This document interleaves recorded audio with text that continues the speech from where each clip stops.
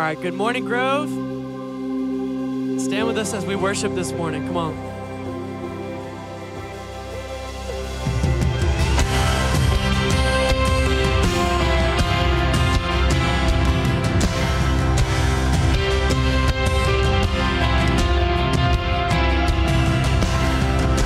Remember those walls that we called sin and shame. Like prisons that we couldn't escape. But he came and he died and he rose. Those walls are rubble now.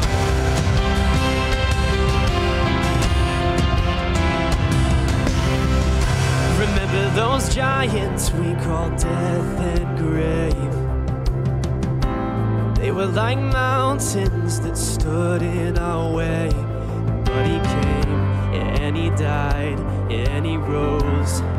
Those giants are dead now. Come on, sing this out with us. This is our God, this is who he is. He loves us. And this is our God, this is what he does. He saves us. He bore the cross and beat the grave. And let heaven and earth proclaim this is our God.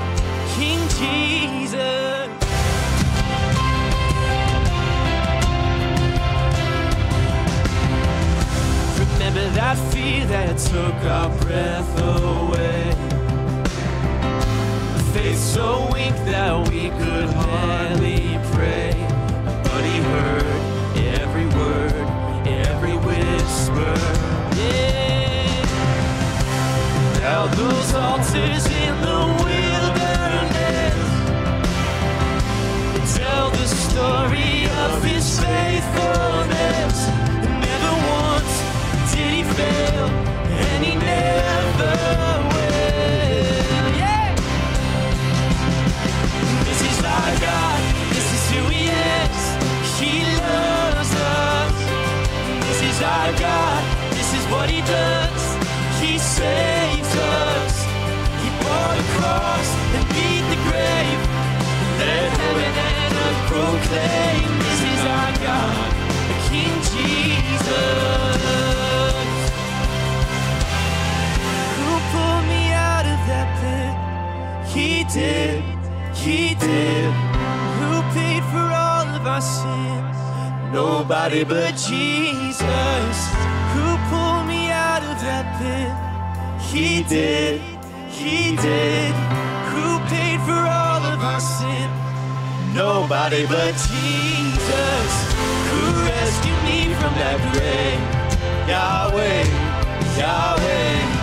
Who gets the glory and praise? Nobody but Jesus. Who rescued me from that grave? Yahweh, Yahweh.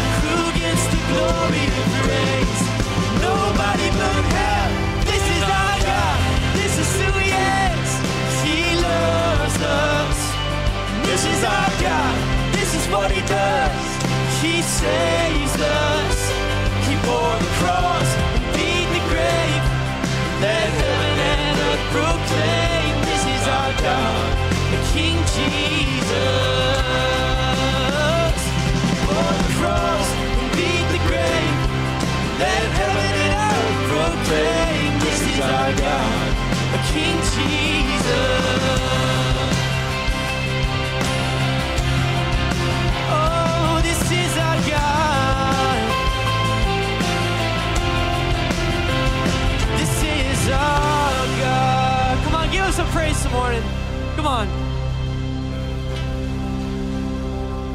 And he remains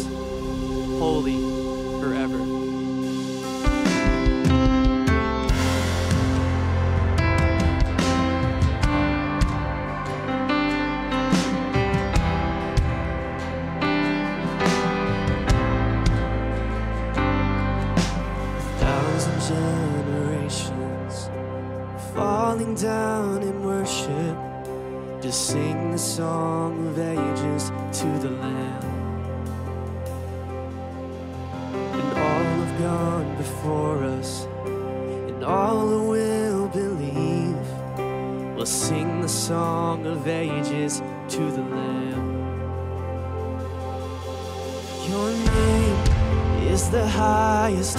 Your name is the greatest. Your name stands above them all. All thrones and dominions, all powers and positions. Your name, it stands above them all.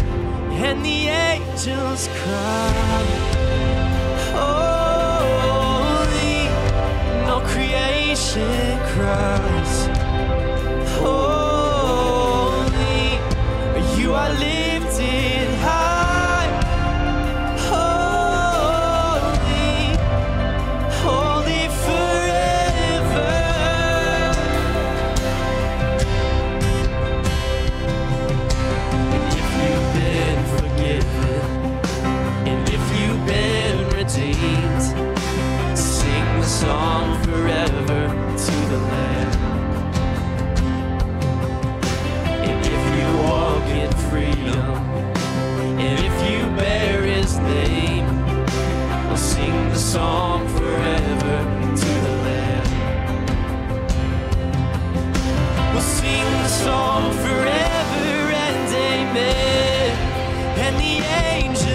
right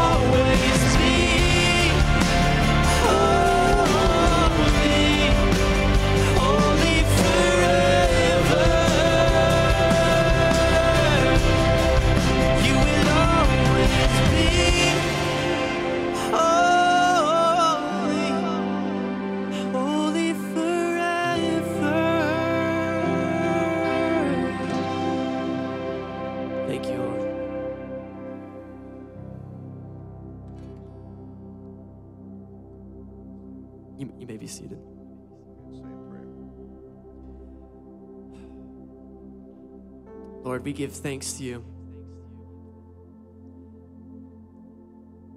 We give thanks to the one that gives us and has gave us everything.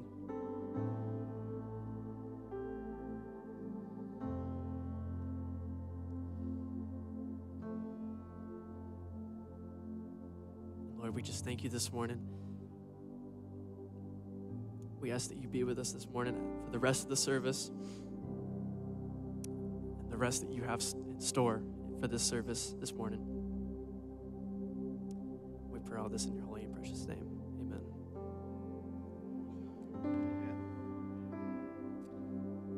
Well, way to go, fellas. I'm telling you, those boys are singing, aren't they? Let's give God praise for that. They're delightful. Uh, it's just an honor to be with you this morning. Uh, to God be the glory. Appreciate everybody being here. This morning, we're going to have some time in prayer. Uh, you know, when a church is in a, uh, I can't think of a season when we don't need to pray. Can y'all? Uh, and we had such a great prayer meeting last week around here. We had so many people that were tuned in to the Lord. We had many, many wonderful things that happened at the plow. I heard personal stories. We had the prayer wall out there. I want you to know that prayer wall is out there for you to write your prayer request on, and then my staff and I will take those prayer requests, and anyone else that wants to pray will take those requests, take them to our offices, and we'll pray over them. Basically, I think we're putting a little check mark on them just to let you know that that request was prayed for specifically and that God, I believe, is working on behalf. This morning, uh, I want to be led by the Spirit of the Lord. I want to be led by, uh, by uh, the wisdom of God. And while we, while I was singing and desiring to worship the Lord, I did sense the Lord's whisper to me uh, something very specific. And so I would like to obey God, and I would like to trust Him. Um, this young family um, has been in a battle this week. In a few moments, we're going to have a baby dedication. And I don't know why God whispered to me so early about this, but I believe it is because He is, um, His heart is touched by this.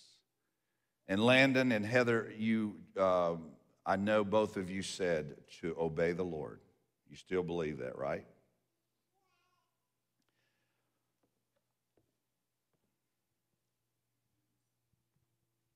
I'm going to ask this young couple to come, and I'm going to ask this young couple to let us pray over them. A week or two ago, she was six weeks pregnant and probably one of the most excited mamas on the planet. And so was Landon. And they called their family together last Monday and said, Hey, we're, they hadn't told their family yet that she was pregnant, but they went to the doctor to get an ultrasound and to be able to uh, hear the heartbeat. And so when they were coming home from the doctor, their family was going to be there and meet them, and they were going to share the good news. When they got there, the doctor could not find a heartbeat, and the doctor, uh, thinking that by eight weeks, definitely should have a heartbeat. And so they, the doctor said, We can't be sure. So we're going to have to wait a week. And then you come back. And is the appointment tomorrow, Heather? And I want you to know something. I don't know what God's going to do, but I am going to pray for a resurrected heart. And I know you're a young enough couple but you are, even though you're young, you guys are solid. You are so solid. And I'm praying that God will tenderly care for you. I don't know the answer, and I know you don't. But when that doctor said, We got another week, that said to me, We got hope and we're praying.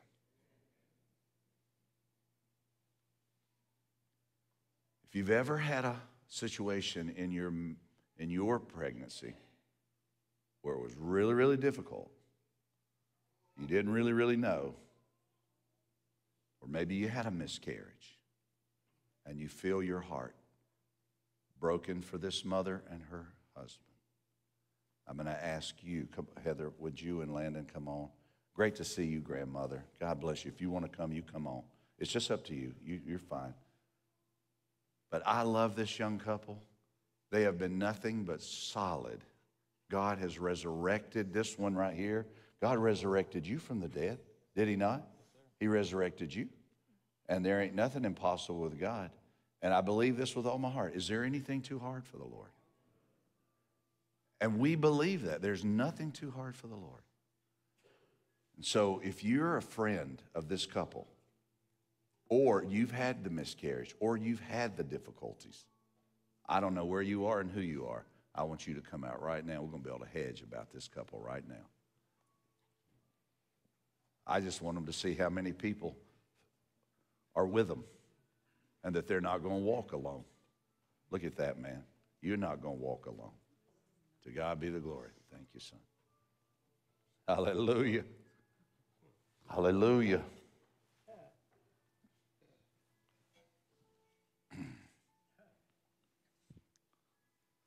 Spirit of the living God. You know, the Bible says in creation that the, the Spirit of the Lord hovered. The literal translation is the Spirit of God fluttered like a bird over the waters. And over a, a situation that looked chaotic, but then God spoke and said, Let there be light. And I'm praying that God would speak this morning and say, Let there be life. He said for us to move the stone, and then he would call Lazarus himself. This morning, we are going to pray that we can be the stone movers and God can be the life giver. Okay? So we have our part and God has his. We're not trying to pray against God's will, but we are given permission to ask him for this prayer request today. So, if church, you'll begin to just right here, I want all of you, Heather and Landon, just pray over them right now. And baby Huntsinger, y'all just begin to pray right now. Thank you, Lord. Just let, the, let I definitely need to hear a rumble here. Thank you, Lord.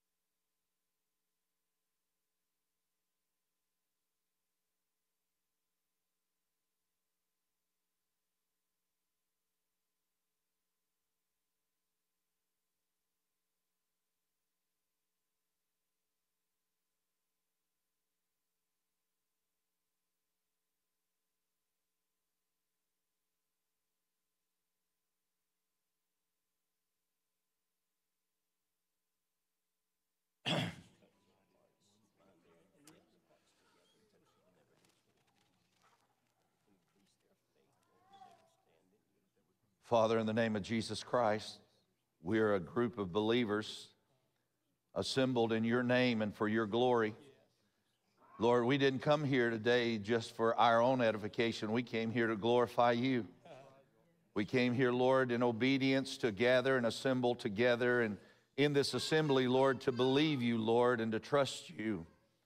But the moment I walked in, Lord, I sensed you spoke to me to, to call on you for this this family, Lord. And immediately, Lord, my mind was reminded of Lazarus in a tomb. And Lord, we have baby Huntsinger in a womb. And God, I pray that you can bring forth life, oh God. And Lord, let us be a part of a miracle, Lord, of praying for this child. We are not praying against your will, Lord, and your will be done on earth as it is in heaven. And you're a sovereign God who knows the end from the beginning. And there's nothing hidden from you. And Lord, you know what's what is best for us. And when we don't know what's best for us, but Lord, in our humanity and Lord, in our uh, fragile, fragile life, we are not afraid to call on you, Lord, for this miracle. And Lord, when you have the ability to speak and to pull something from nothing and to bring something into existence that was not existing. It is our privilege, Lord, to cry out to you in your name, Lord, to bring life into this baby. And Lord, I pray that your will will be done. And Lord, I pray that we could shout this miracle from the rooftop, oh God. And so, Lord, we love you. We praise you. We, we gather together in assembly, Lord, because you are our sovereign God. Now I pray, Lord, for Heather. I pray for her heart. I pray, Lord, for Landon. I pray for his heart. I pray that their minds could rest for just a few moments. And Lord, give them peace like a river in their soul. And let them just trust you, Lord. Trust you, God. And I, I don't know why anyone would have to go a whole week with that kind of wondering going on inside of her. But Lord, whatever you're doing in her, building in her, strengthening in her, I pray that it'll be a bold fortress for your glory in days to come. So, Lord, we praise you for this morning, praise you for this time of prayer. And then, Lord, for all these that have gathered around them, Lord, bring healing to each of these as well. Lord, all these have had some touch where it was very difficult.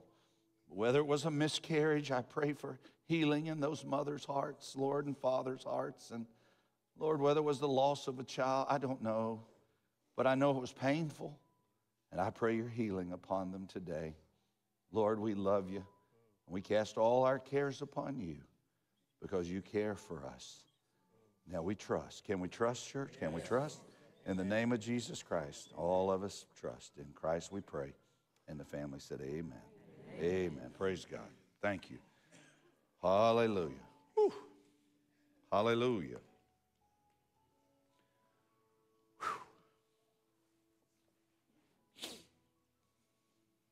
Hallelujah.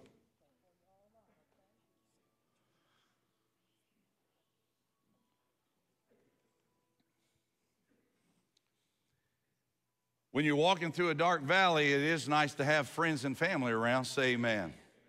That's why I love the local church. I, I love it with all my heart because I believe that you may not need us, but we need you. And there may be a day when you might need us, and if we're together, then we can be there. I'd like to welcome every one of you here today in the name of the Lord. I, I welcome everyone who is online today watching. We are delighted to have you. If, if my, my brother Don, uh, whom I love and respect with all my heart, uh, this morning uh, about 2.30, uh, his wife, my sister-in-law, Ann, uh, gradu- graduated and went on home. And that's very hard. But I'm glad she's home. I'm glad she's with the Lord. But I know him and I know his heart is broken this morning, and I know his children's heart, they're broken this morning. And, and I just want you to pray for them. And I, they may, Don may actually be watching because he's just a faithful brother. And he, he is a great big brother because he always encourages me. And, and it is Don that I learned, you know, this little statement that if no one's told you today they love you, please let me be the first. And how many times in my life Don has been the first one uh, in a particular day to say, I love you, and make just so meaningful. Uh, and I want Don to know that I love him and Terry and Tony and Brian and their family, that we love them um, and we uh, just pray for them. Thank you, Ron and Barbara McCants. They, Ron and Barbara took the prayer card last week for them, and it meant so, meant so much uh, that they would uh, pray for them. And I told my brother about it on, on Thursday, and we had no idea that Ann would pass this week. We just didn't know it. And he told his son he was very proud that we had people praying for them and uh, very humbled by it. And so uh, I want you to know we love you, each and every one of you. If you're watching online today, I want you to know that we love you and we are delighted to have you and thank you for being with us. We may be in your living room this morning, but we're family by the grace of God and we welcome you. If you're a child, we love you. If A mom, a dad, a grandparent, we love you. And so, Grove, you know, we may have guests here today. I'm pretty sure we do. Uh, I, I, think we, I, we have baby dedication today, and, uh, and so we just want to give God praise. So if you would welcome our guests, you welcome them online. Grove, give them a real good welcome this morning, would you? Come on, Grove, get there you go. Let's give them a good old welcome. God bless you.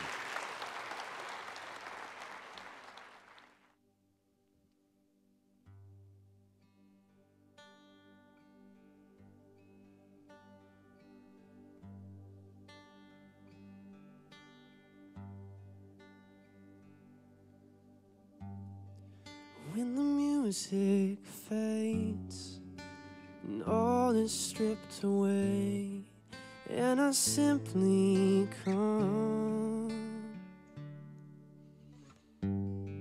longing just to bring something that's of worth that will bless your heart. I'll bring you more than a song, for a song in itself, it's not what you have required. You search much deeper within, through the way things appear. You're looking into my heart. I'm coming back to the heart of worship when it's all about you. It's all about you, Jesus. I'm sorry, Lord, for the thing I've made it when it's all about you. It's all about you, Jesus. Ooh, it's all about you.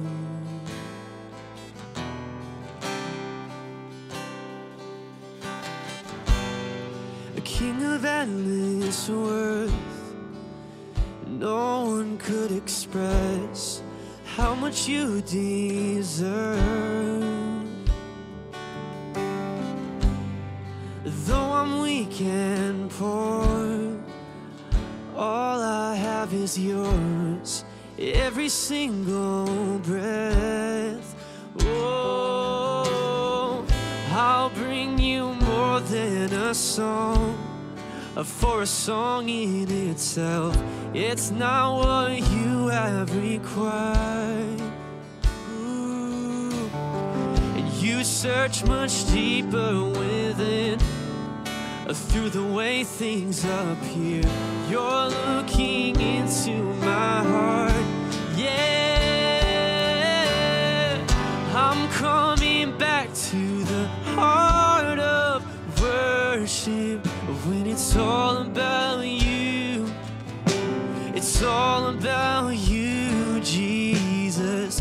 I'm sorry, Lord, for the thing I've made it when it's all about you. It's all about you, Jesus. I'm coming back to the heart of worship when it's all about you. It's all about you, Jesus. I'm sorry, Lord, for the thing I've made it when it's all about you. It's all about you, Jesus. Ooh, it's all about you. It's all about you.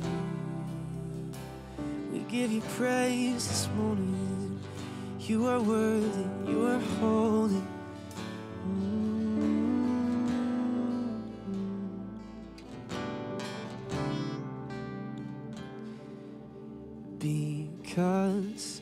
He lives, I can face tomorrow. Because he lives, all fear is gone. Because I know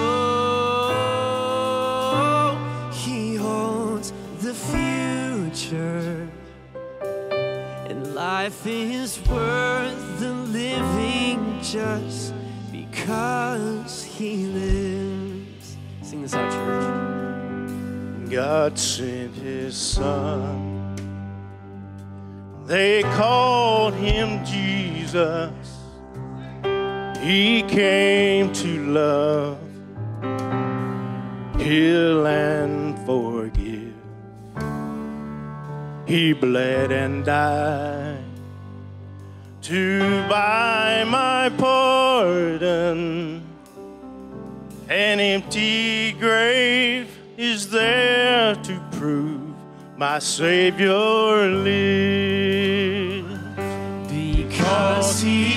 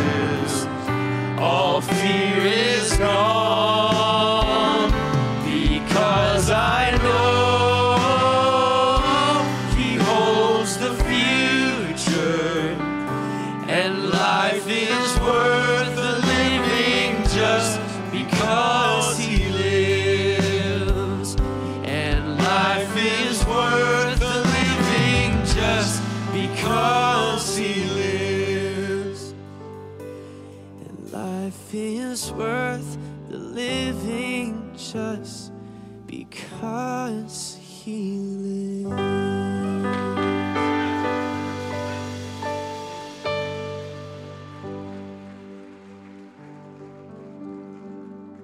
Church, pray with me. Almighty God, in heaven and on earth, we're grateful, Lord God, to be in your presence today. Heavenly Father, we thank you for the privilege and honor we have, Lord, to call upon a risen Savior who lives.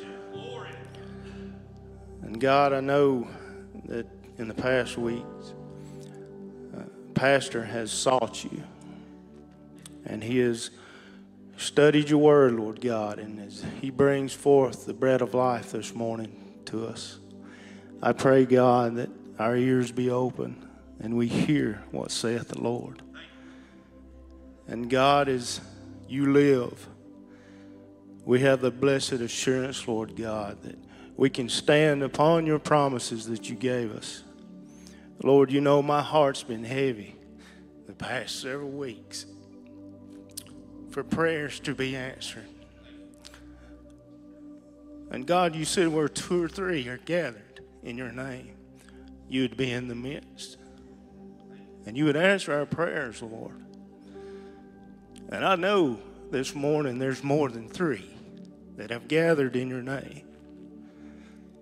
And Lord, we expect you to honor your word. Because, Lord, it is, it is not us. As Austin sang, it's all about you. And God, we know that those as those prayers are answered, you will be exalted. You will be lifted up, and you will be given all the praise. For in your name we do pray, God. No other name but the name of Jesus. Thank you, Lord. Amen. I need to confess something. I'm excited. I'm excited about this coming Sunday morning, and I'm excited for our church this coming year. And let me tell you why. We are going back to Genesis. We are going back to the beginning. We are going back to the foundation. And when I look at the culture we live in today, I cannot think of anything more needful for our young people, for our adults to be reminded or to learn for the very first time what God says about everything. What God said about creation. Who created? How did we get creation? Why is there a creation? It's all in Genesis chapter 1. The gospel is in Genesis chapter 1. Salvation is in Genesis chapter 1. Listen, everything goes back to the beginning of Genesis 1 1. In the big inning. Not really a baseball game, but the big, big, big beginning. And that's where we're going this Sunday morning. I sure hope you'll come with us. Let me just say one thing to you. Along the way, I'm going to be making these little videos every week so that we can stay together where we're going to be. You could read the Genesis record by Henry Morris, scholarly as all get out, but excellent if you really want to go deep. If you want to stay on the surface but enjoy the practical uh, realities of the book, Dr. J. Vernon McGee. He is a radio preacher in the 1970s. Fantastic. One more. I'll give you one more. Dr. John Phillips, a personal friend of mine who is brilliant. He was a Moody Bible professor, wonderful guy. I'll be reading his stuff. I'll be reading McGee. I'll be reading Henry Morris. I'll be reading the Word of God, and we will build a series in the great book of Genesis. I want you to be with us, and I want you to be excited. I'll see you Sunday morning. I'm going to have to preach like, uh, oh, I feel like an evangelist now. Hello. Oh, this is dangerous. Glory to God. I've got a microphone here. That's scary. Uh, I feel the power with this thing. What, what I actually love is that I finally am able to say, uh, open your Bible to page one. If you are, uh, if you have a Bible, or you have access to a Bible, or you have eyeballs that will allow you to see on the board. Uh, in a little bit, we will go to page one and we will open the Bible together. This morning, I have approximately uh, I have 11 pages of typed notes for those of you that really get excited about long preaching. Uh, I have probably 40 to 50 pages of handwritten notes that I have worked on over the last probably three or four months, and it literally has to do with prior to Genesis 1 1, just some overview. If we were flying in a plane about 30,000 feet, we'd be able to take a big overview of the book of Genesis. But I think the Lord has uh, narrowed my focus, and I want to be able to be uh, faithful to God, and I want to narrow the focus to the areas that I believe the Lord uh, would, would lead me in. And I looked at these 11 pages of notes, and I said, Lord, they're, they're not going to be able to handle that. So you're going to have to direct me as I walk through what needs to be and what does not need to be. So this morning, if you'll pray for me, say, I'll pray for you. And I appreciate that. So uh, I really want you to look, though, for a moment in Psalm 19. I want, to, I want to begin reading in Psalm 19, and I want you to see God's word, hear God's word, read God's word, learn God's word, memorize God's word, and then we'll, we'll, uh, we'll see where God leads us in this. Psalm 19. It's one of my, little, my, my favorite little passages of Scripture when it talks about declaring the glory of God. Psalm 19, if you're there, say, I am. The Word of God says this. I'll tell you what. I wrote in my notes before I even began this series, uh, series in Genesis, is that I would pray for God to give us guidance. Like I said, I, I have probably uh, 40 verses of scripture uh, here this morning that I would like to cover with you. I, I, know that's not possible. So I'm going to pray that God will lead, us to the ones that we need to be a part of today, that we need to think about today. So, Lord, before we begin the series in Genesis, that I am positive will take a full year if we even get close. I am praying that you will lead us. And Lord, you know what this family needs every day before we need it. And Lord, we don't know what we need. But when we rise in the morning, we rise praying and seeking God to lead us. And Lord, as we walk into the book of Genesis today for the first time, Lord, that we would walk into it with humility and honesty and conviction. And Lord, that we would not be ashamed of the gospel of Jesus Christ. We would not be ashamed for the word of the Lord, and that we would declare your word in faith and power.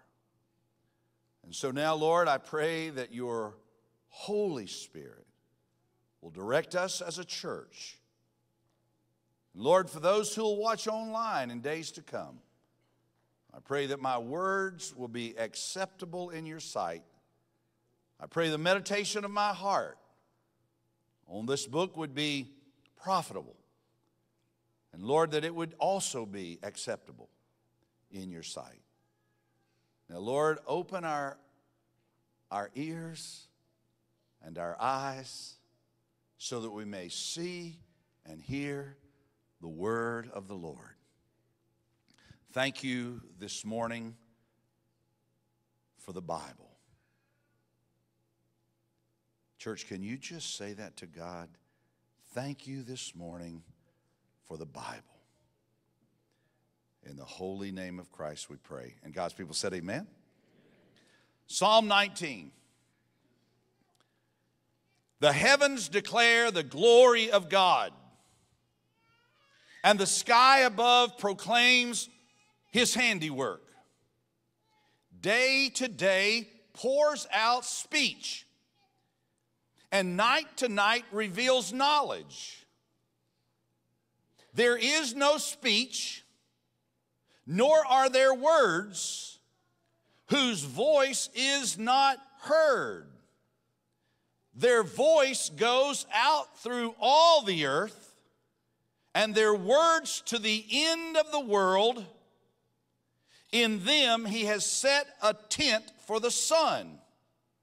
Creation is a universal language that every individual, every tribe, every tongue, every nation, every race that the world would call races, the Bible says that creation speaks a superior language that usurps all the other languages, and everyone can understand the language of creation if they choose to.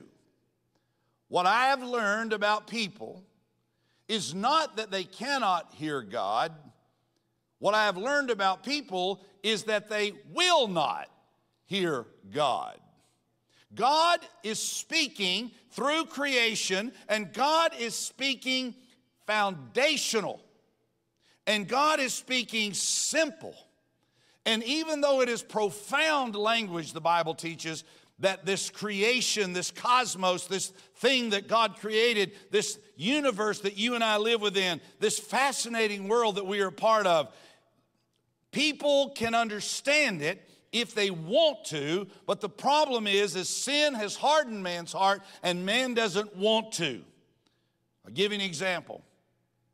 Before we even lay into this book, there is no more important book in the Bible. And I believe every book is important in the Bible. Say amen right there. But there is no more important book in the Bible. There is no more influential book in the Bible. There is no more indestructible book in the Bible. There is absolutely no more accurate book in the Bible. I believe every Bible, I believe every book of the Bible is accurate to the inspired holy word of God. But I want you to know that all the other books of the Bible, you take 65 more books of the Bible, and all of them rest on the solid foundation of the book of Genesis. And if you don't have a grasp of Genesis and you don't understand Genesis, you are missing the foundation that we build our lives upon. Genesis takes us back to the beginning, the beginning of, of time, where God spoke time into existence, where God spoke matter into existence, where God spoke space into existence. God had no beginning, God has no end. God is, He is eternal. And God is the uncreated creator. And God, the uncreated creator, I want you to say that with me. God is the uncreated creator. And everybody says that if there's an effect, there has to be a cause. Well, God is the uncaused cause. I want you to say that. God is the uncaused cause. God is eternal. And we are going to get to know him in the book of Genesis like we will find him nowhere else in the Bible. And we see where God in the beginning, God in the beginning. And that is very important. He didn't have a beginning, but he spoke this world into its beginning.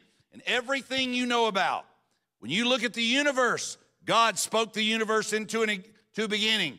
When you look at the atmosphere, God spoke the atmosphere into the beginning. When you look at the rain and you look at the, the, the sun, the moon, the stars, God spoke it all into beginning. God spoke life in the beginning. God made man in the beginning. God made woman in the beginning. God made, He made land animals in the beginning. How many of you want to know about dinosaurs? Say, I do. Well, maybe we'll get to them, maybe we won't, but I think we should, and we'll talk about them. But on the sixth day, I mean, it's amazing what all God did on that sixth day is one of the busiest days of creation, and we'll get to all of that as we come. But how many of you know that language had a beginning? God started language, God started culture, God started society, God started government, God started marriage, God started the genders. God said there is a male and a female. Don't go any further than that, church. It's the bottom line. So God, God gave, set everything into motion. And you know what it comes down to? It comes down to do you believe God's word or do you believe man's word? And I wrote in my notes, I have a little Bible here that I wrote. I wrote a Bible in a Bible. And I want you to know something about man's word because you've got to decide what you're going to build your life upon. And you're either going to make the decision to build your life upon the foundation of God's word, or you're going to build your life on the foundation of man's word. Nobody can, I can't force you to build your life on God's word. But I don't believe that it's my job to force you to build your life on God's word. It is my job to preach the word of God. The Bible says faith comes by hearing, hearing by the word of God. And when I began this series in Genesis, I want to talk to you about the fidelity, I want to talk to you about the faithfulness of God's Word.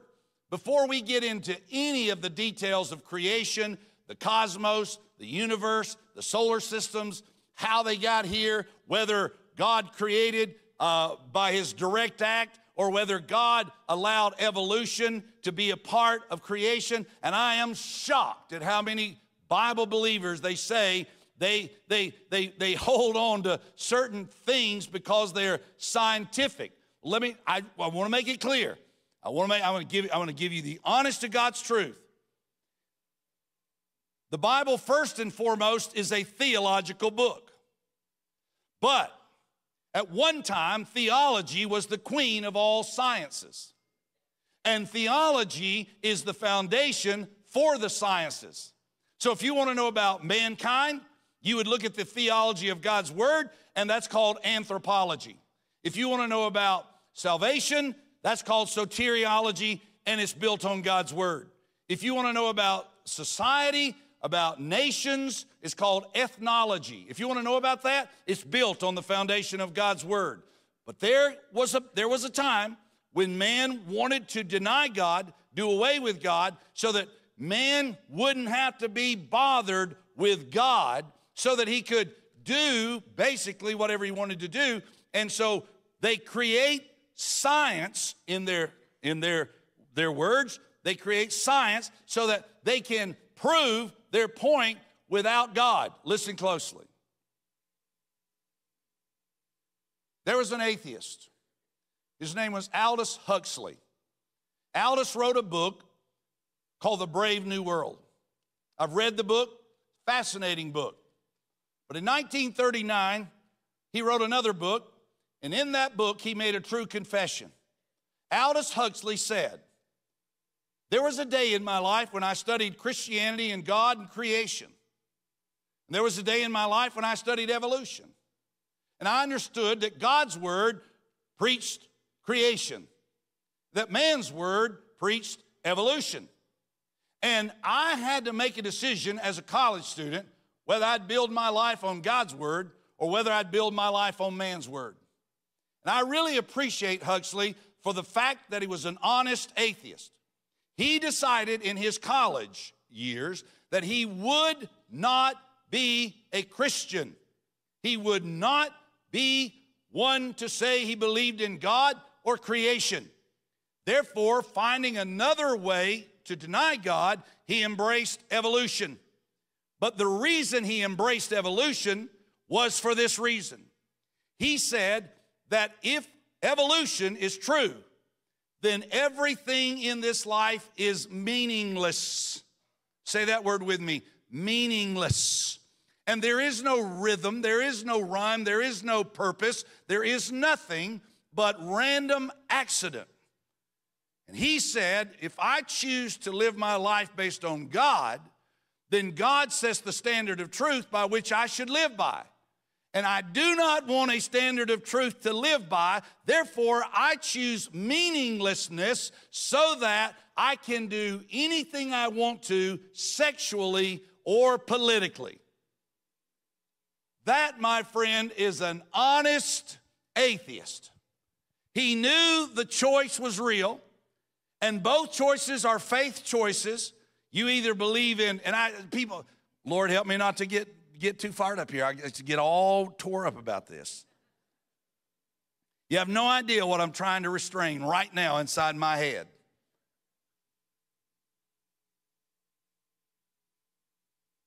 But people want to say, well, we live by science.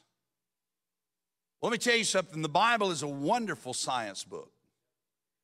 The, the Bible is, a, is an inspired, it's not a science textbook. It's a, it's a masterpiece of theology. But when it addresses matters of science, the Bible is the standard of truth for those of us who believe in God. And we build our lives on God's word and not man's word. You see, I wrote in my notes, man's word, how many of you know, is always changing? Say, yes, I know that. It's always changing. I mean, we had man's word that masks were really good.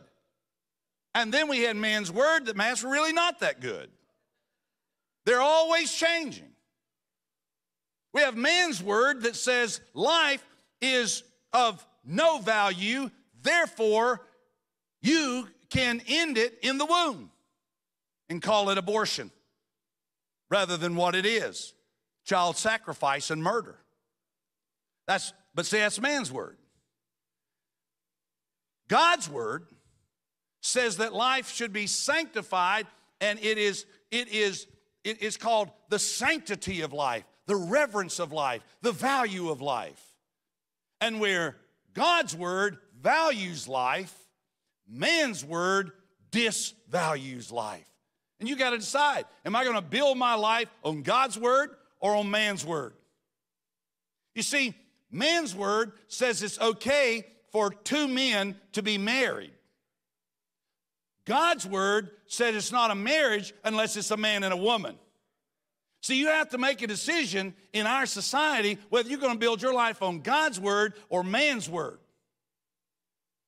Whether you like what I'm saying or not is not the issue.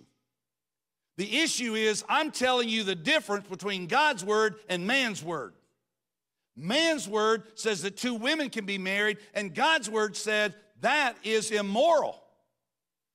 God's word says that a man and a woman form the relationship of a marriage, and out of that marriage, you bring forth children. That's how you do it.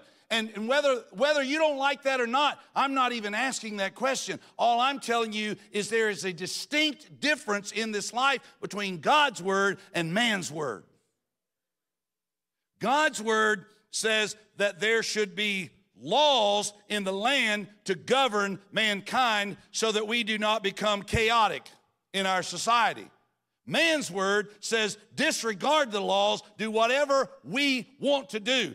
Man's word is found in the book of Judges where every man did that which was right in his own sight. You see, if there's no true standard and man can choose to do whatever he wants to, then then it doesn't matter what he does in society in his mind because he has nothing governing him. But you and I, who believe in Almighty God, the creator of heaven and earth, we believe that God gave laws, God gave government, and God made those things so that we would have order in our society and not chaos. And let me tell you something God's word will bring order, and man's word will bring chaos. You got to decide am I going to build my life on God's word? Am I going to build my life on man's word?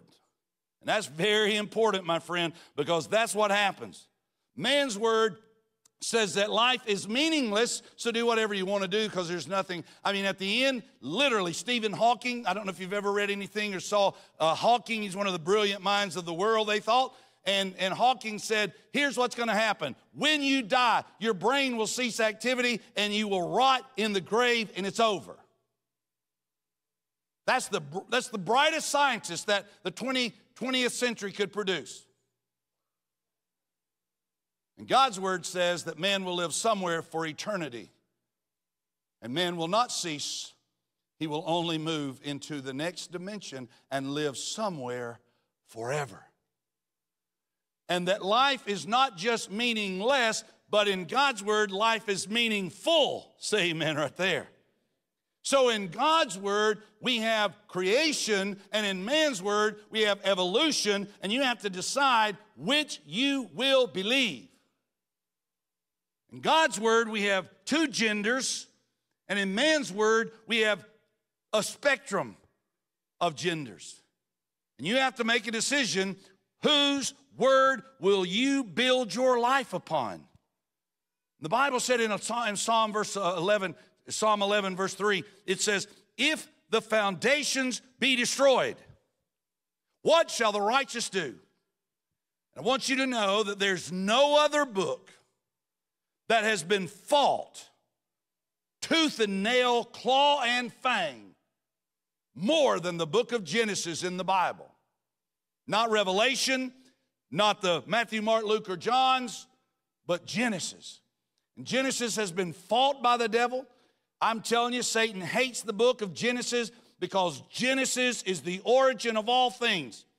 Genesis teaches us where evil came from. Genesis teaches us where sin came from. Genesis teaches us that the devil is a liar and a deceiver. Genesis exposes him for who he is and the devil hates the book of Genesis. But God's people love the book of Genesis because in the book of Genesis we learn about everything. We learn about everything, I mean, that God wants us to know, that God needs, I mean, the foundation, the seedbed, the doctrine. If you say, well, I want to know about the, you know, the doctrine of, of, of any of the doctrines in Scripture, I want to know about the doctrine of hamartiology which is the doctrine of sin. Where do we find it? In the book of Genesis. I want to know about all the anthrop- just anthropology. I want to know all about the, the history of mankind. Find it in the book of Genesis. I, I want to know these things. You'll find it in the book of Genesis. I wrote in my notes, see if I can find them. They're in here somewhere. But I was looking in my notes and, and I thought, you see, the Word of God says that we have this reliable, accurate account of the world and its creation. It begins dramatic in verse number one. It's very powerful. The world wants to say it was a big bang. Oh, it was a big boom. And that was God's voice spoke and it came into existence. You say, oh, preacher, do you really believe that? I, I want to I wanna go on record and say I really do believe that. I really do. I'm familiar with the origin of the species, familiar with what Mr. Darwin had to say about it, familiar with the Scopes trial. They called them the monkey trials up in Tennessee, familiar with that familiar with microbiology just a little bit, familiar with macrobiology just a little bit, because I had to read, I had to learn, I had to prepare myself so that I could say it's an honest decision. And it is an honest decision to say, I believe that God created the heavens and the earth. It is an honest decision to say that not one child would ever be born in this world random, accidentally, or without purpose. I believe that every child ever born, God had a purpose for you, and you are not a random accident. The world has lied to you. They really have. You say, Well, I'm not going to hear that probably in second period tomorrow morning. I doubt it. But the Bible says that Genesis is the record of the beginning of the universe, the beginning of the heavens, the heavens and the earth, about time. I mean, it, it's the seedbed for every doctrine that is connected to the rest of the Bible. You know, it tells us who is God. Anybody want to know that question? I think you should. The Bible makes it clear. Who am I? You want to know that question? I think you should. How did I get here? Why am I here? Those are what they consider the big questions in the world, the big questions in every individual's mind. Who is God? Who am I? Why am I here? How did I get here? Genesis answers in beautiful details all of those answers. Where did you come from? You ever, you ever ask yourself this question? What's wrong with me? Have y'all ever asked that question? What's wrong with me? Genesis tells us what's wrong with us. The book of Genesis walks right into that room and explains what's wrong with all mankind. Look at your neighbor and say, I knew something was wrong with you. I knew it, I knew it, I knew it. What is evil? What is good? What is bad? What is marriage? What are roles in marriage? Wouldn't that be important today to know in America and around the world? Not that men and women are unequal. The Bible says that there is no distinction between male or female in Christ Jesus as far as salvation matters. God's salvation is for both male and female, but the Bible makes it clear that each of our genders have specific roles that we are to live and carry out in responsibility to obedience to God's word within the marriage. And I see so many marriages on the rocks today because there's so many marriages that don't understand the roles. Men didn't understand what manhood is. Women don't understand what femininity is. And we have these clashing of, of roles and we have these, these discharges of explosiveness inside our marriages. When God God Almighty has explained in detail in the book of Genesis how to have how to have peace in your relationship. But you have to live by God's word and not man's word. And whether you believe it or not, society has so, so bombarded us through every medium available. And today, I mean, where our, our parents had black and white TV, we have every kind of television, we have every kind of computer screen, we have every kind of device. We're bombarded with information 24 7 if we stay awake. And it is, it is a constant stream of man's word. And unless there is an intentional decision not to live by man's word, but by every word of God that proceeds from the mouth, the mind, and the heart of God, then, my friends, we are going to be susceptible to the chaos that this world produces. And when you look at all of these things, where did death come from? Where, where did life come from? Where did, what, what, what, what is deliverance? What is the consequences of sin? They're answered right there in Genesis chapter number one. The Bible makes it really, really clear that there are so many answers in just the very first chapter. And, and I understand chapter one, chapter two, and chapter three. And I've heard people say this, I've heard them say it. They say, you know, we believe the Bible is the Word of God, all but Genesis 1 and 2. And eh, we just don't believe Genesis 1 and 2. Well, where, where, does the, where does inspiration begin then? Does it start in chapter 3? Does it start in chapter 11? Chapter 47, chapter 50. Where does inspiration come from? Let me tell you something. If Adam was an allegory, Jesus Christ was an allegory. Because the Bible talks about Adam talking about Jesus and Jesus talking about Adam, and the Bible makes it clear they were talking about real, true individuals, not just myth or legend. Adam was a real man, Eve was a real woman. Cain and Abel were real children. When you read the Bible, You have to make a decision. Was God just allegorizing everything? Was God just mythologizing everything? Was God just making fables up? I, I don't think so. I mean, truly, truly, truly, I know in the fairy tales that a frog can become a prince.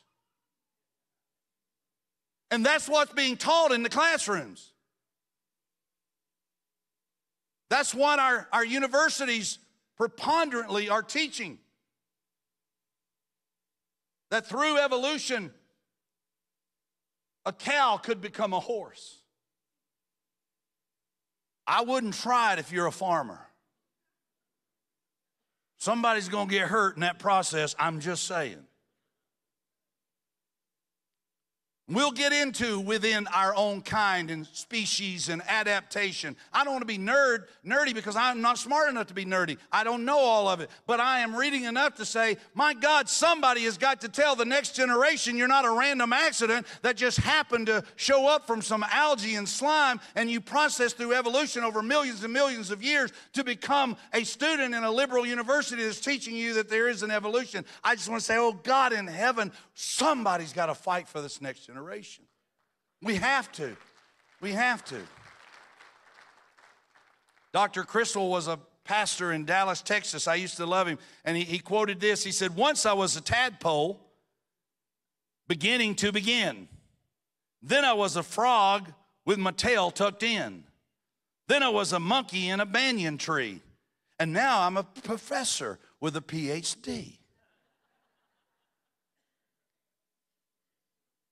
I don't believe you can go from a monkey to a man. I believe God created monkeys and I believe God created men. And I stand unapologetically on the truth of God's word. So when we go through Genesis, if you say, Well, I'm not, a, I, I don't believe God's word, and that's your choice. But the Bible said, in 1 Peter chapter 3 verse 15. He said to the believers, "But in your hearts honor Christ. Christ the Lord. Honor Christ the Lord as holy." And then he said something very specific. Always being prepared. Say it. Always being what? Prepared. To make a defense. Say that word defense. Defense. What, what is God saying? The little word there in the Greek language is apologia. And the little word simply means to give a defense for why you believe the Bible. To give a defense for why you believe the Bible is the Word of God. He says, I want you to do it, and this is what he said always being prepared to make a, a defense to anyone who asks you for a reason for the hope that is in you.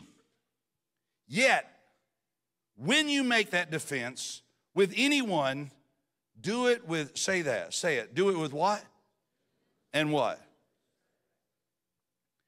Now that should be who we are as Christians.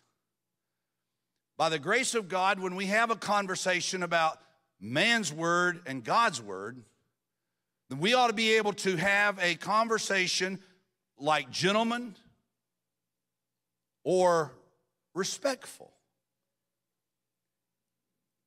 Because God has called us to be apologists. Now, we think of apologists as people who apologize. That is not what the word means in its original language. An apologist is an individual who has the understanding from God's word and the solid foundation of God's word to be able to explain why we believe in, why we believe in, in creation over evolution why we believe in, in marriage between one man and one woman rather than uh, two of the same sex. We have a reason for why we say that. We're not just being mean to people who see it differently than we do. Listen, we can't make people see it the way the Word of God says it. If the Bible, do you know the Bible said, I'm just gonna go ahead and say this. The Bible says in Ephesians chapter number two that each individual before salvation are what? Does anybody know? Every individual is what? Dead. The Bible says that people without Christ are dead in their trespasses and in their sins. Guess what? Dead people can't see. Dead people don't understand. But the Bible says that faith comes by hearing, hearing by the Word of God. So, what we're going to do in this series in Genesis is we're going to read from the Bible, we're going to say what God said, and we're going to believe that God's Word will ignite life in dead souls. How many of you remember? I prayed a little bit about it this morning. How many of you remember the story of Lazarus in the Bible? And the Bible said that Lazarus was in a tomb, yes or no? And he'd been dead for four days, yes or no? And his sister said, Jesus, you know by now his body has an odor because of the length of time he's been dead. And Jesus said to them, Take away the stone. Why didn't Jesus just move the stone himself? Because in the work of God, there is the sovereignty of God and there is the responsibility of man. And the responsibility of man is to engage in conversation. The responsibility of man is to speak forth the truth of God's word. The responsibility of man is basically we are called to roll those stumbling stones out of the way. But when man moved the stone, did Lazarus come out? Hold on. Did he instantly come out? Or was there something else that happened before he came out? There was one more little thing that happened before Lazarus came out of that grave. You know what it was?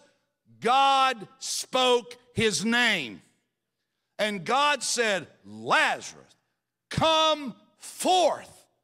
And that dead man walked out of that grave. We have the responsibility to preach the word, to teach the word, to live the word, to share the word, but it is God's responsibility to raise the dead. You and I can't raise the dead. Only God can raise the dead. So we have to do what God called us to do and then let God do what He does best. And that is God takes those in Ephesians 2 that were dead in their trespasses and sin, and God convicts them. God draws them through the power of the Holy Spirit, through the preaching of the word. And then the Bible says, by faith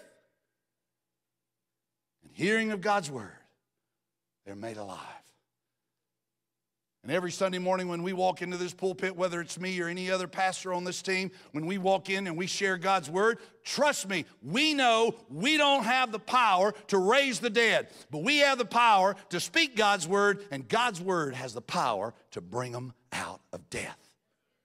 And that's what the church has to remember in our society. The church is trying every kind of fad the church is saying, hey, if we have better lights, if we have smoke machines, if we have cool dressed, you know, I love you, Simeon, because they ain't a bit of that modern cool nothing. I mean, you, your hair's cool, but the rest of you look like an old soul, man. You got on blue jeans and they're not even tight. Not yet. If you keep eating, though, they coming. Trust me. So, but your, your shirt's your shirt's cool. I mean, but I see it. Churches, they're going, hey, if we have a cool youth pastor, if we have better entertainment, if we have lights, if we have this, listen, that will, will not raise the dead. But if an old tongue tied preacher that can't hardly get his words out, if he can preach the deed that Jesus saves, play God, the Holy Ghost will come down upon him and he'll get saved by the grace of God.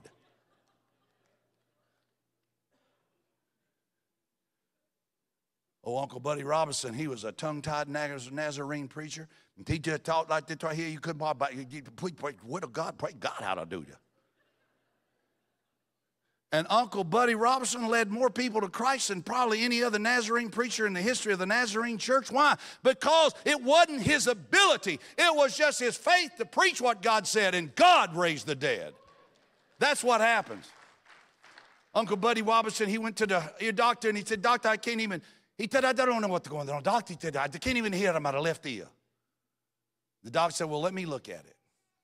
The doc looked at his ear and came back in a few moments and he said, Well, he didn't say it like that. The doctor said. He said, Uncle Buddy, here's the problem. Here's the problem. You got old age in that ear. He said, ain't that something, praise God. He said, they both born at the same time.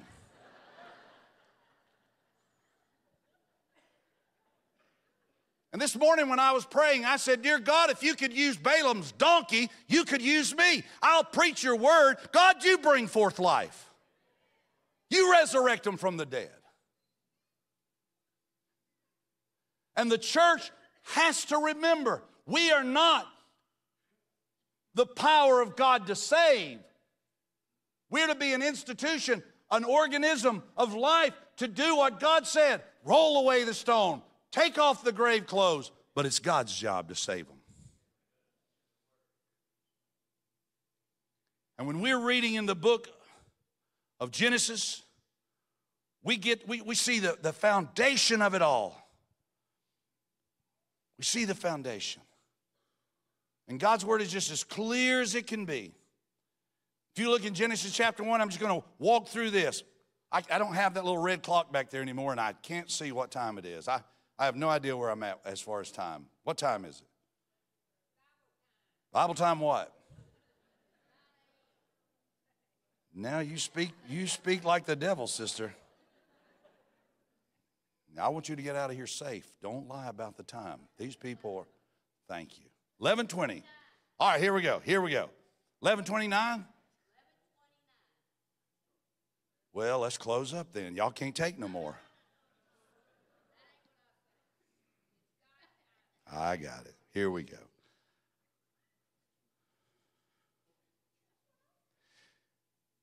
I want you to look at the first verse in the Bible Genesis chapter 1, verse number 1. Are you there? Do we have it on the board? Yeah.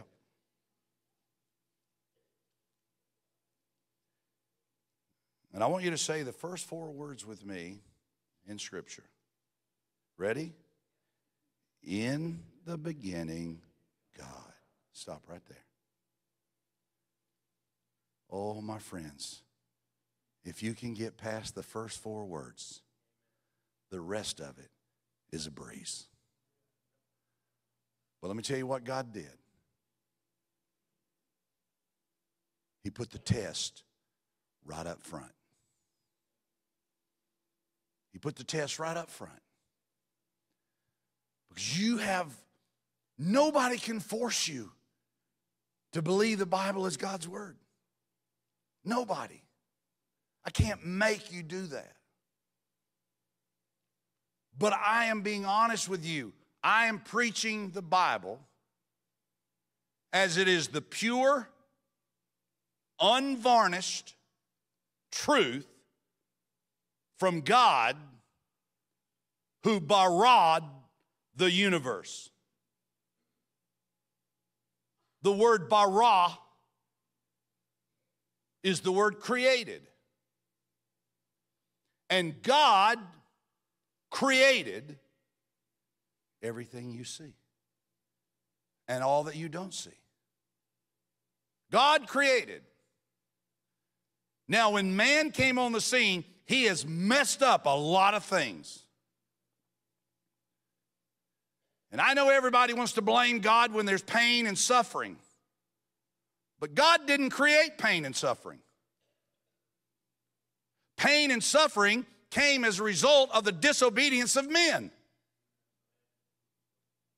When I hear people on talk shows and they want to indict God because of pain and suffering, where was God? Why did God? I would love to see a preacher who had enough integrity and backbone to be able to say, hey, the problem isn't with God.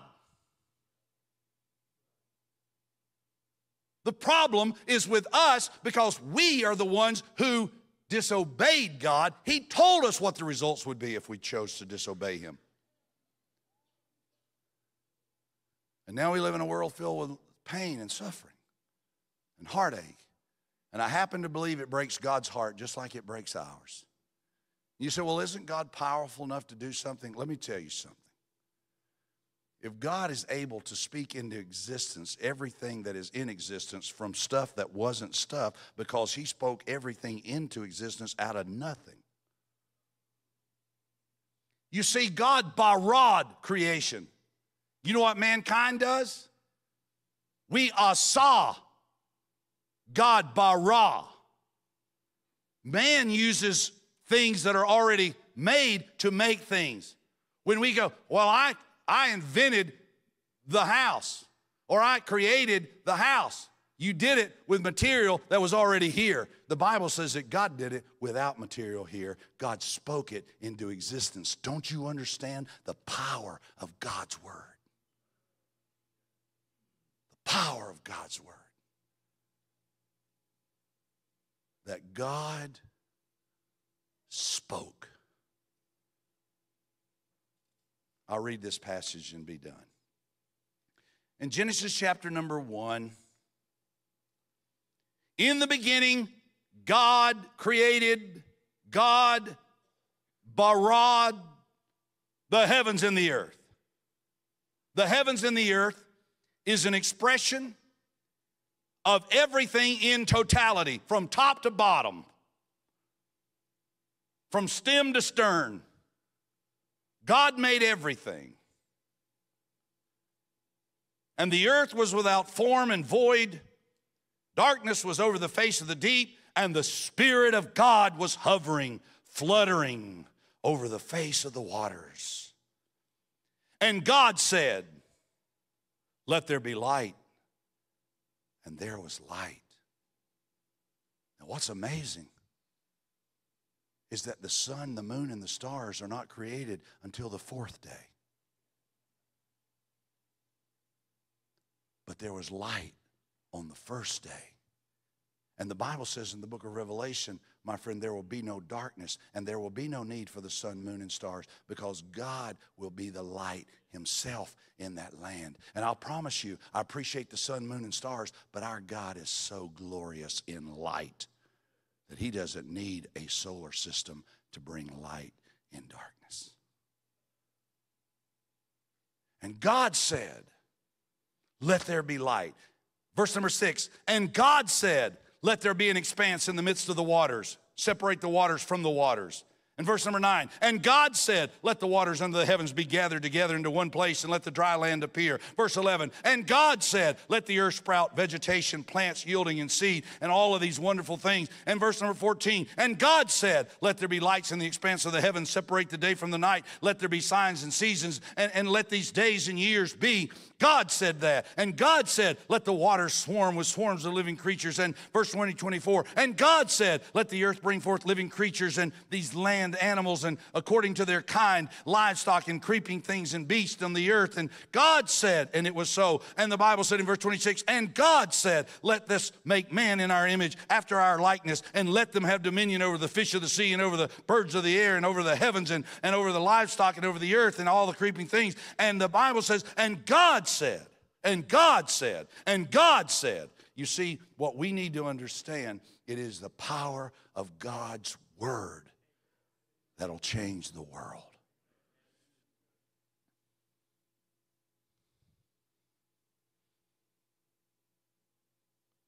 In Psalm 33, 6 and 9, and by the word of the Lord, the heavens were made. If you believe that, say amen. And by the breath of his mouth, all their host. And the Bible said, Then God gathers the waters of the sea as a heap and he puts the deep in storehouses. Let all the earth fear the Lord. Let all the inhabitants of the world stand in awe of God. For God spoke. Can y'all see that? And it came to be. And God commanded, and it stood firm.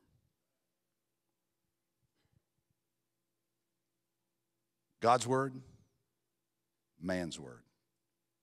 Whose word will you build your life upon?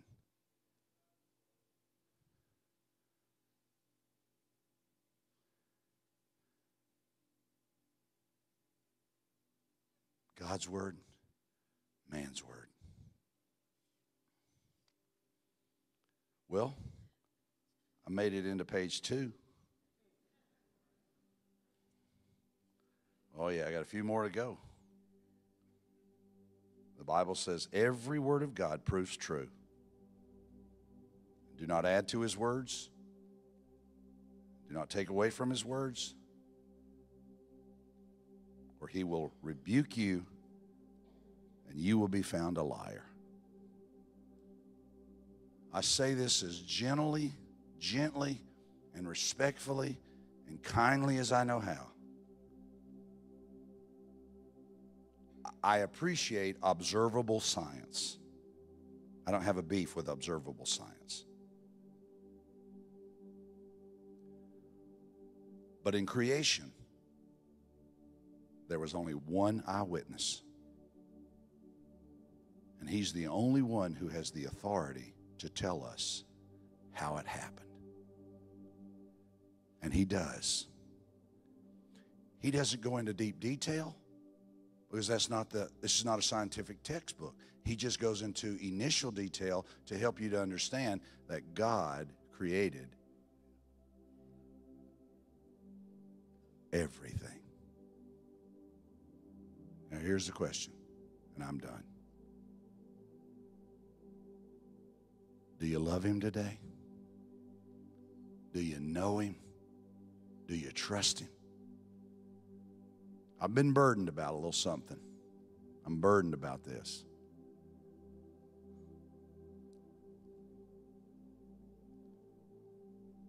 Because I've seen this in modern churches. And it's dangerous.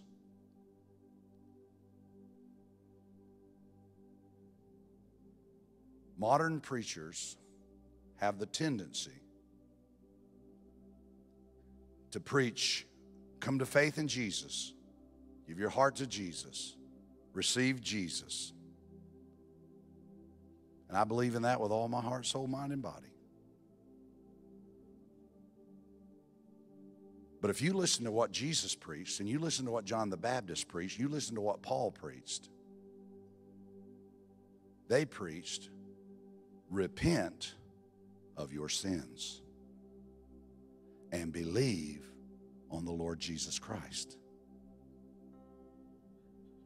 Is that what the Bible says? And our modern preachers are afraid to preach repentance. And my fear is they're about having more salvations on Sunday than they are about telling the truth on Sunday. And I'm not, I'm not against preaching. Faith comes by hearing, hearing by the Word of God. But if we're going to bypass repentance of sin and just say, believe on Jesus, and you don't ever repent of your sin, I doubt seriously you'll take anything he says seriously, and you will be living in between the world and the Word, the world and the Word. And I believe at some point we are sending an unclear signal in this world because we are not standing on the Word.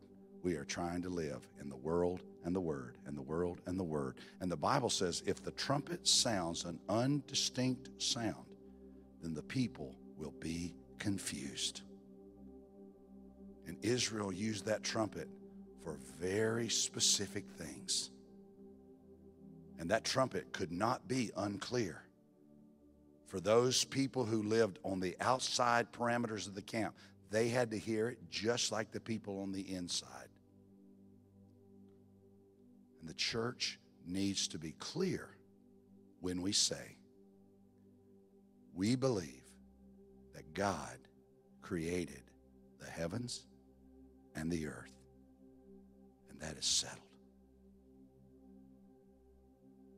And then from there, recognizing because He is the creator, He has the authority to tell us how to live. And we are to respond to His word in obedience. And if you choose not to, that is your choice. You are a free will specimen. You can do that, but you cannot choose the consequences that's coming as a result of totally denying God's word. We need a revival in our nation. And you know what that revival needs to be? Preaching the Word of God. Let's pray. So, Lord, we thank you for an introduction. We thank you, Lord, for drawing a line and calling us to either believe in your word or to believe in man's word. But Lord, I've seen man's word change so much over my lifetime. I've seen your word remain steadfast and unmovable that I just don't have enough faith to believe man's word. I'm putting my faith in you. And if you're here today and you don't know Christ, uh, you should repent of your sins right now. Ask God to forgive you of your sins. Do you know? Maybe you don't, but may you learn from someone who has repented and received forgiveness, and that'd be me. God is merciful. And man, when I cried out, God, forgive me, He did. And He will do you the same way. Repent of your sin and receive Christ as your Savior. So, Father, today we have preached at least four words in the beginning, God. And I stand on those words unapologetically. And you are the awesome creator. As D. Wade prayed in his prayer, you are the almighty of heaven and the almighty of earth. And Lord, we reverence you today as Almighty God. May our, our view of God as we study Genesis expand and grow. And Lord, that you will be more glorious to us than we have ever known you in days prior. So may we truly get to know Elohim, God, Yahweh, covenant God, Rapha, healing God, Jireh, providing God. Lord, we learn so much about you in the book of Genesis. So if you're here today and you don't know Christ, you want to pray right now? Father, I'm a sinner. Oh, I'm a sinner. And I have sinned against you. And I'm sorry for my sin. Lord, please forgive me. I humbly, humbly ask, please forgive me and come into my heart. I receive you today by faith, by grace, as my Savior. I don't know a lot, Lord, but I know you're my Savior. And I, I trust you today. And I thank you. I thank you. If you're here today and you prayed and you believe that God's stirring in your heart, then I want you to see one of us as pastors before you leave today. John will be here, and Brent will be here, I'll be here. And there are others that can come forward. We'll all stand around and we'll meet you. We're not going to call you out in the crowd, but you know, the Bible said if you receive him, then you'll confess him. If you've trusted Christ, then you should confess him. So, Lord, for the rest of our congregation, as you go about your day, church, keep in mind you are the creation of God, our Creator, and He loves you and He wanted you. That's why He made you. You are not a random accident. You are here and you have a divine purpose for your life. And may your life find that fulfillment as you follow God. Well, Lord, we love you, we thank you, and we call you holy and blessed, and we thank you in Jesus' precious name. And the church said, I want you to stand to your feet. We didn't get to do this earlier, so I want to do it before we leave. I want you to turn to somebody and go, I'm so glad to see you today. God bless you. You're free to go.